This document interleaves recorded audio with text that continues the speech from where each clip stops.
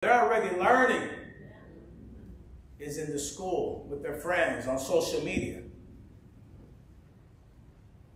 We got to pray about these situations. We got to talk about these situations as we navigate this cultural storm. We got to hold tight, cling to the unchanging truths of God's word. We need to stand strong in love and compassion when speaking the truth in Christ.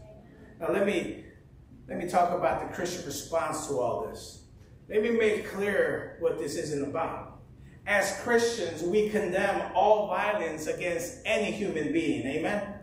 This is just something that's not appropriate, right? It goes against God's moral law.